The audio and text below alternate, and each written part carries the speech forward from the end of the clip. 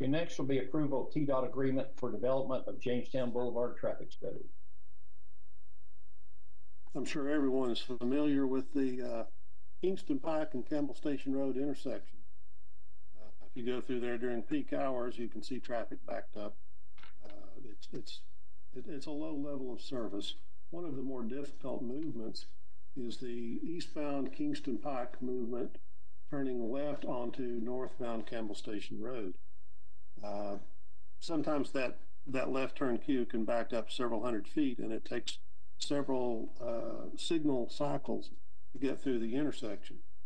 With development on all four quadrants of that intersection, adding a second left turn lane would be pretty difficult or at least very expensive. So we're looking at uh, other solutions. In this case, uh, we're looking at the possibility of, well, we, we want to know what it would take to make Jamestowne Boulevard a bypass of the Kingston Pike and Campbell Station Road intersection for that, for that movement. Uh, in my mind, I can see likely a signal at each end of Jamestowne Boulevard that's on Kingston Pike and at Campbell Station Road. Uh, some realignment of, uh, of the lanes.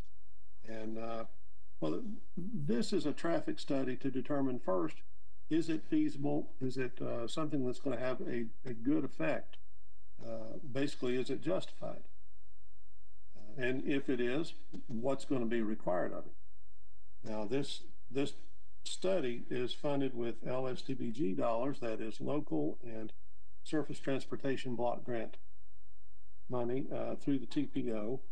Uh, it has an 80 20 split, of which the town required to pay 20%. Uh, we have an $80,000 budget, and the town would be responsible for $16,000.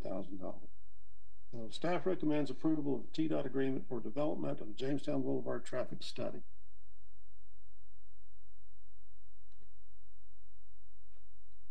I'm going Okay. to move to approve. This is Alderman Povlin. Alderman Burnett, I'll second. Okay, then Alderman Burnett, we'll start off with you on questions or discussion.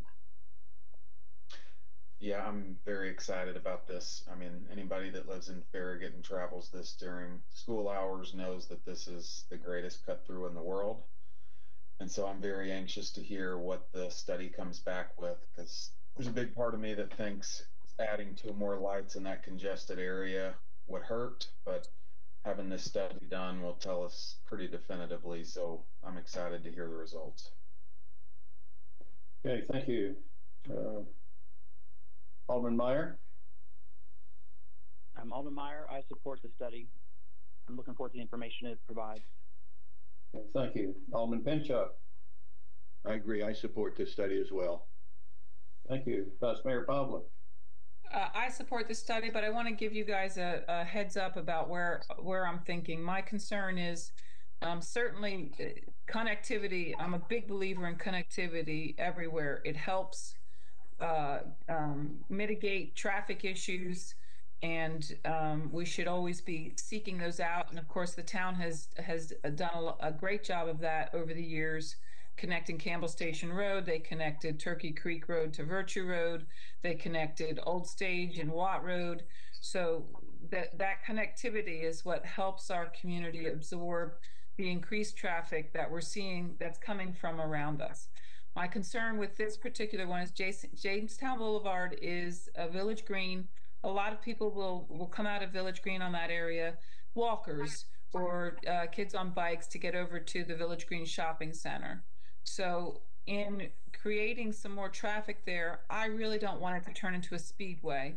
So I want us to be conscientious that um, that portion is really treated like a street.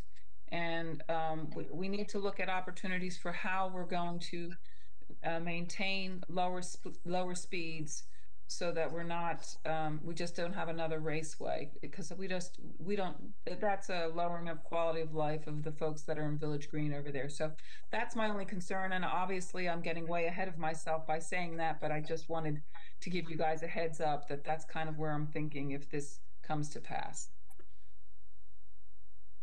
Okay, thank you, Vice Mayor Povlin.